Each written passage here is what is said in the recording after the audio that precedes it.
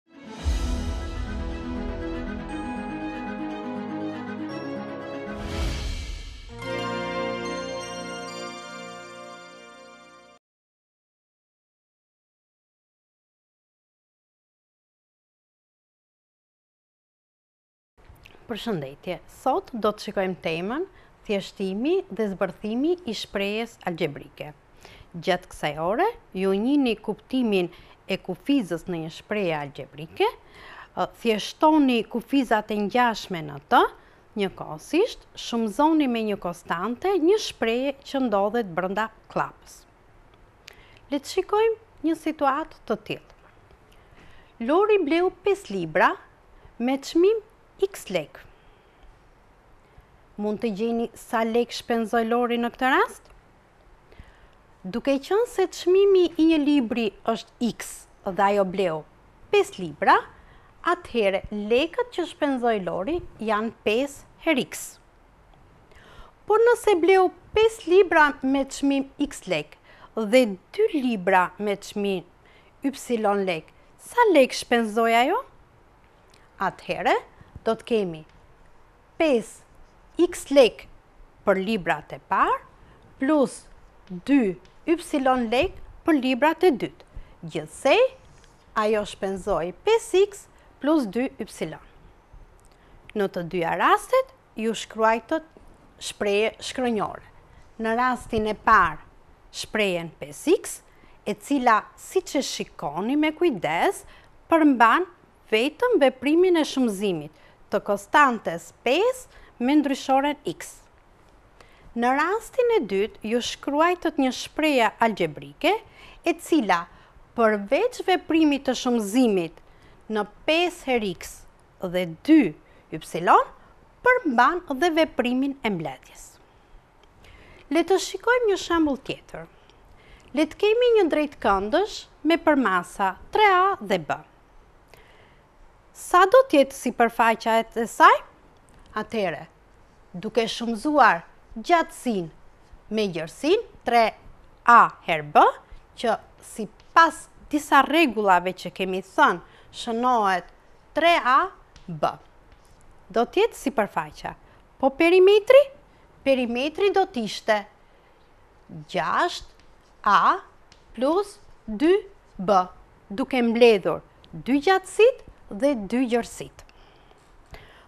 Përsëri ju shkruajtët dy shprehje.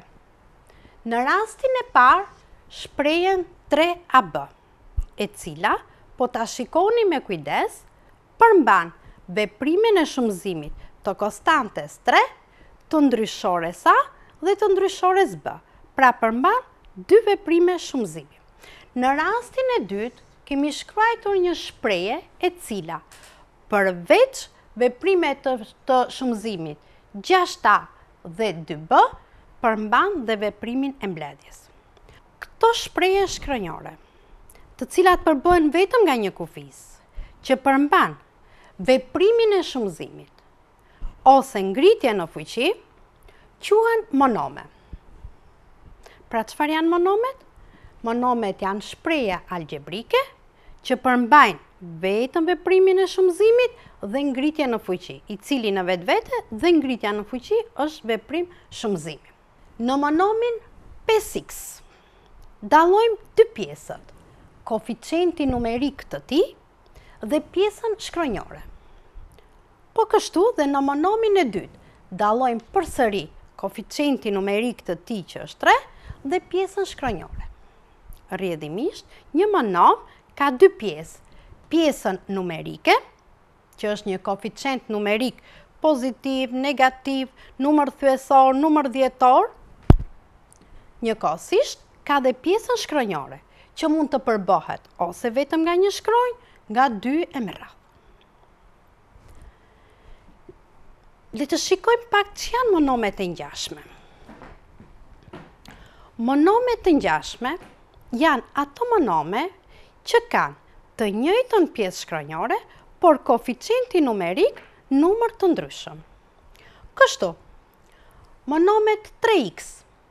minus 4 të tretat x minus 2x kanë të njëjtën pjesë shkronjore, e cila është ndryshorja x, ndërsa koeficientët i kanë tre i pari minus 4 të tretat i dyti minus 2 i treti. Të tre këto monome që kanë të njëjtën pjesë shkronjore x, këto quhen monome të ngjashme. Ju në fletore mund të vazhdoni të shkruani monome të tjerë të ngjashëm me këto tre monome, duke ndryshuar vetëm koeficientin numerik para tyre, kurse pjesën shkronjore e lemë të njëjtë. Në të njëjtën mënyrë dhe për tre monomet e tjera. 5AB minus AB minus 1 e dyta AB. Monomi i parë ka koeficientin numerik 5 dhe pjesën shkronjore AB. Monomi i dytë e ka koeficientin numerik minus 1. I dyti e ka minus, i treti e ka minus 1 të dytat AB. Të tre këto monome janë të ngjashëm. Vazhdoni të shkruani monome të tjera të ngjashme me to. Monomet e ngjashme reduktohen. Ç'do të thotë të reduktojmë monomet e ngjashme. Le të kemi shumën e dy monomeve të ngjashme, 3A plus 2A. Këto dy monome, koeficienti numerik e para e ka 3, e dyta e ka 2. Pjesa shkronjore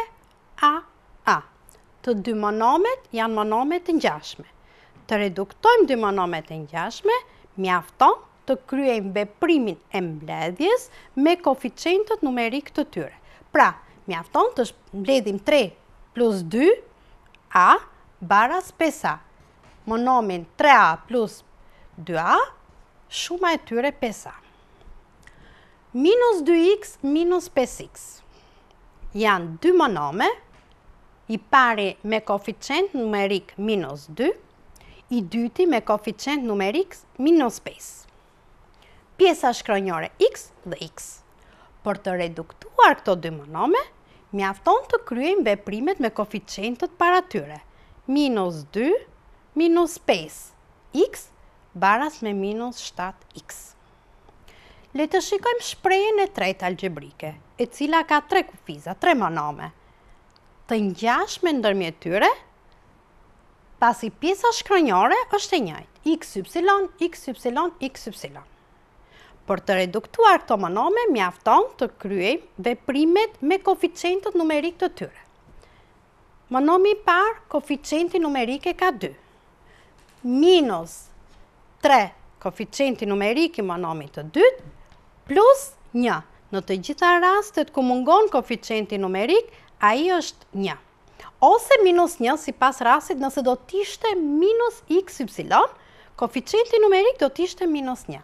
Pra plus një x, y, baras 2 minus 3 minus 1, Plus 1, 0, 0, x, y, baras me 0. Kush janë monomet e kundërt? Monome të kundërt janë çdo dy monome të cilët janë të ngjashëm, domethënë, kanë të njëjtën pjesë shkronjore, por koeficientët numerikë i kanë numra të kundërt. Minus 3x dhe tre X janë monome të ngjashme me pjesë shkronjore të njëjtë X dhe X. Koeficientët numerikë e ka minus tre dhe tre, pra numra të kundërt. Gjashtë AB me minus gjashtë AB, përsëri janë monome të ngjashme, koeficientët numerikë i ka numra të kundërt, gjashtë dhe minus gjashtë.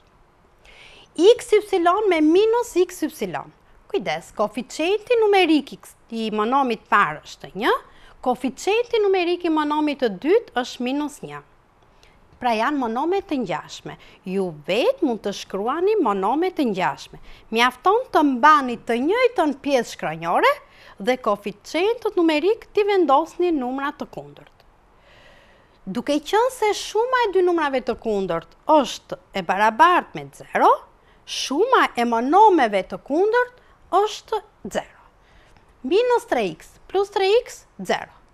Min, gjashtë a bë plus minus gjashtë a bë, zero. Po kështu edhe kjo tjetra. Le të jetë dhënë një shprehje me disa monome. Ta thjeshtojmë shprehjen algjebrike. Ç'do të thotë të thjeshtojmë një shprehje algjebrike? Të thjeshtosh një shprehje algjebrike do të thotë ta sjellësh atë në një shprehje me më më pak kufiza, me një program më të thjeshtë, dhe në këtë rast do të thotë të kryejmë veprimet e mbledhjes dhe të zbritjes me monomet e ngjashme. Pra, të reduktojmë monomet e ngjashme që ka shprehja. Le të shikojmë shprehjen 3x plus 4y plus 5x. Kjo shprehje ka tre monome. Ndër këto tre monome, po, kufiza e parë 3x dhe kufiza e tretë 5x janë monome të ngjashme. Pse? Sepse kanë të njëjtën pjesë shkronjore. Këto dy monome mund të reduktohen shkruajmë 3x plus 5x plus 4y. Kujtojmë këtu që veprimi i mbledhjes në një shprehje algjebrike gëzon vetinë e ndërrimit sikurse në një shprehje aritmetike. Pra ne iu ndërruam vendet kufizave, Por, kujdes duke ruajtur shenjat përpara koeficientëve numerikë të tyre.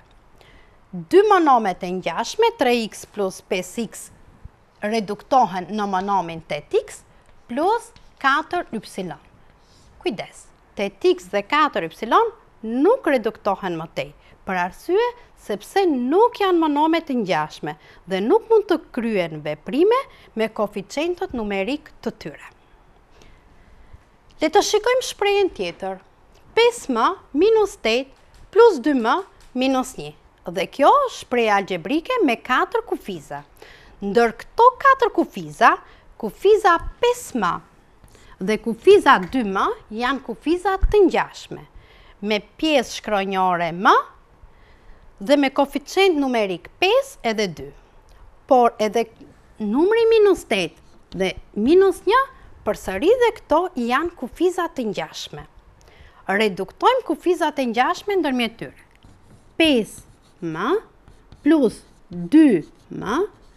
Minus tetë, minus një, baras. Iu ndërruam vendet kufizave, por kujdes në këto raste, gjithmonë do të keni kujdes të ruani shenjën përpara koeficientit numerik. Pesë më plus dy më baras shtatë më. Minus tetë, minus një,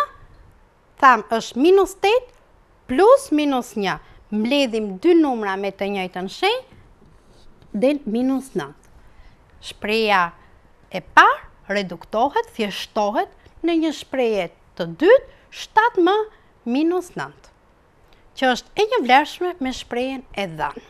Thjeshtojmë një shprehje tjetër algjebrike. Shprehjen e dhënë. Shikojmë.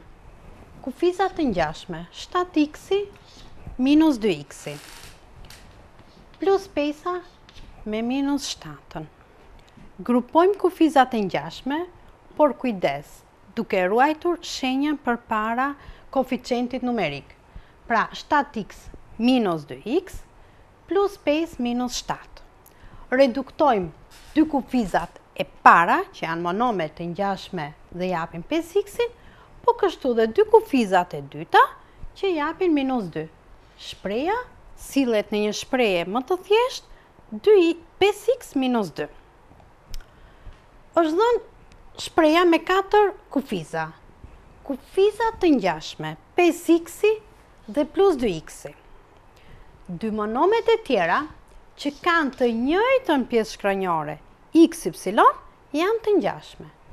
Grupojmë monomet e ngjashme, thjeshtojmë ose reduktojmë monomet e ngjashme, kryejmë veprimet me koeficientët numerikë të tyre Dhe marrim shprehjen shtatë iks minus pesë iks ypsilon, e cila nuk thjeshtohet më tej, pasi dy monomet e përftuara në fund nuk janë monome të ngjashme.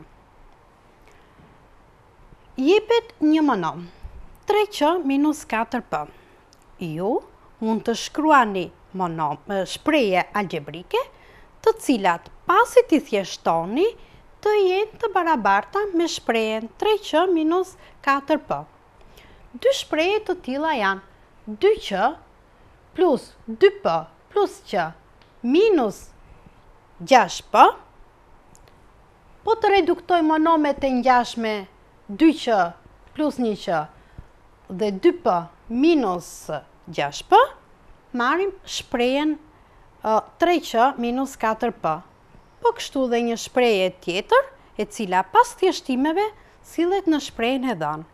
gjeni disa shprehje të cilat pasi t'i thjeshtoni të arrijnë në shprehjen e thjeshtë 3q minus 4p, e cila nuk ka më monome të ngjashme dhe nuk thjeshtohen më tej. Shprehja mund të ketë edhe kllapa. Në këtë rast, na duhet ta zbërthejmë shprehjen duke hequr kllapat. Kujtojmë, vetinë e përdasisë në lidhje me veprimin e mbledhjes dhe të zbritjes për numrat. Tre që shumëzon dy plus katër. Atëherë, dini që treshi shumëzon çdo mbledhor brenda kllapës, pra dhe dyshin edhe katrën. Dhe nëse do të kishim zbritje, përsëri treshi do të shumëzonte çdo kufizë brenda kllapës. Vetia e përdasimit është e vërtetë dhe për shprehjen shkronjore. Ç'do të thotë kjo? Le të kemi shprehjen 3 që shumëzon x plus 2. Kjo shprehje përmban kllapën, veprimin e mbledhjes brenda kllapës të një ndryshore me numrin 2 dhe më pas shumëzimin me kufizë 3. Për të hequr kllapën, do të zbatojmë vetinë e përdasimit, që do të thotë që numri tre, kufiza tre, shumëzon çdo kufizë brenda kllapës. Pra do të kemi treshi shumëzon x-in, treshi shumëzon dyshin. Dhe do të kemi 3x plus 3 herë 2,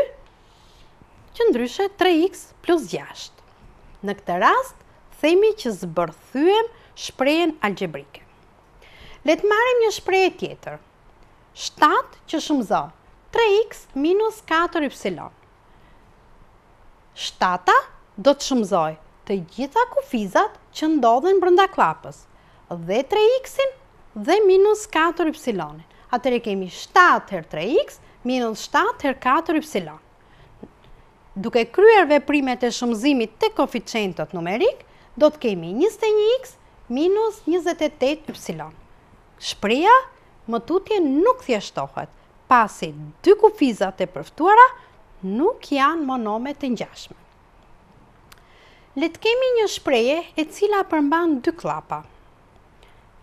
Të lidhura ndërmjet tyre me veprimin e mbledhjes. Pra kemi 6 herë një kllapë plus 3 herë një kllapë. Brenda kllapave kemi shprehjet algjebrike x minus 2, 4 minus 2x. Zbatojmë vetinë e përdasimit për të dyja kllapat. Pra, gjashta do të shumëzojë x-in, minus gjashta do të shumëzojë dyshin. Plus, treshi do të shumëzojë 4, plus treshi do të shumëzojë minus 2x-in. 3 herë 4, minus 3 herë 2x.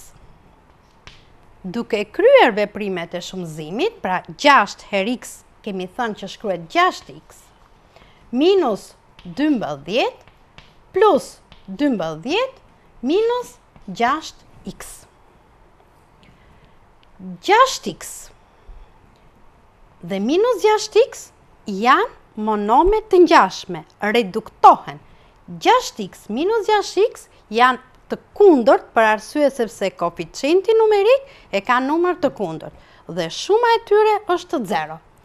Minus dymbëdhjetë plus dymbëdhjetë përsëri janë numra të kundërt me shumë zero. E gjithë kjo shprehja sillet në shprehjen baras me numrin zero. Pasi e kemi zbërthyer, kemi hequr kllapat dhe kemi reduktuar monomet e ngjashme. Gjatë zbërthimit të një shprehjeje që ka kllapa, duhet të jeni shumë të kujdesshëm kur shumëzojmë me një numër negativ. Le të shikojmë shprehjen minus 3 që shumëzon a minus 2b. Pra, sipas vetisë së përdasimit, minus 3-shi do të shumëzojë a-në, kujdes minus 3-shi do të shumëzojë minus 2b-në.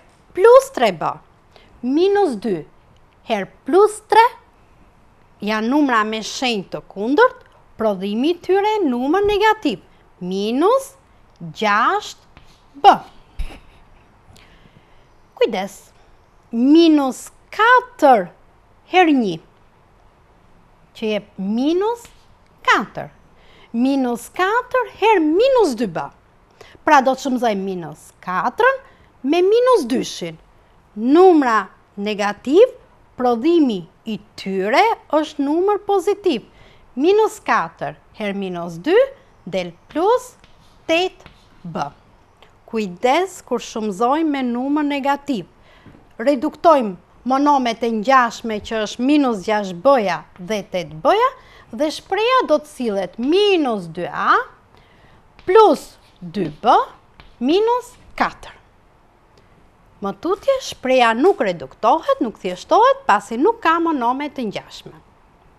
Të shikojmë dhe një shembull tjetër ku shumëzohet po me numër negativ.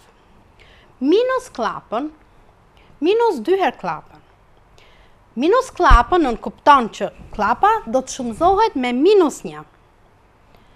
Dhe do të kemi minus një herë m, domethënë minus një, herë plus një që është koeficienti para kufizës m, do të jetë minus m. Minus një herë plus dy, minus dy. Minus dy herë një, Numër negativ minus dyshi, numër pozitiv njëshi, prodhimi i tyre numër negativ, minus dy. Minus dy herë minus m-ja. Kujdes, minus dy, koeficienti para minus m-së është minus një, pra minus dy herë minus një, shumëzojmë dy numra negativ, prodhimi i tyre numër pozitiv, pra plus 2 m. Reduktojmë monomet e ngjashme, minus m me plus 2 m, dhe minus 2 me minus 2. Minus m plus 2 m, kryejmë veprimet me koeficientët numerik të tyre që janë minus njëshi dhe plus dyshi, minus një plus dy, një më, minus dy, minus dy, minus katër më. Koeficienti kur është një dhe minus një, e vendo nuk e shënojmë dhe themi më minus katër. Në këtë rast, Më, e gjithë kjo shprehje, pasi u zbërthye duke zbatuar vetinë e përdasimit dhe reduktuar kufizat e ngjashme, sillet në shprehjen më minus 4. Merrni shembuj në fletoren tuaj, kujdes kur zbatoni vetinë e përdasimit të shumëzimit në lidhje me mbledhjen dhe zbritjen, e cila ju kujtoj është e njëjtë sikurse në veprime me numra, edhe në shprehjet algjebrike. Reduktoni kufizat e ngjashme dhe sillni shprehjen në një shprehje më të thjeshtë. Punë të mbarë.